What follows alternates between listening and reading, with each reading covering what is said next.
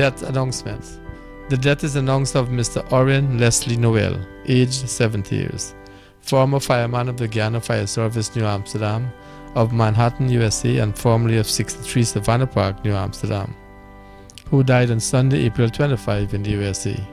He was the son of the late Etty Noel of Tete Alley, New Amsterdam, husband of Sabatri Noel of the USA, father of Devon Noel and Cecil Noel grandfather of Denick Noel, brother of Miss Faye Noel and Miss Joycelyn Noel, uncle of Charlene Phillips, Wesley Noel, Sean Noel, Reverend Diana Passad, Cicely Reese, and Hollis Humphrey.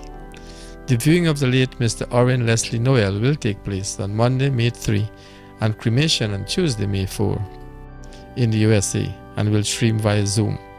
Due to the COVID 19 pandemic, no week will be held. DTV extends sympathy to the relatives and friends of the deceased.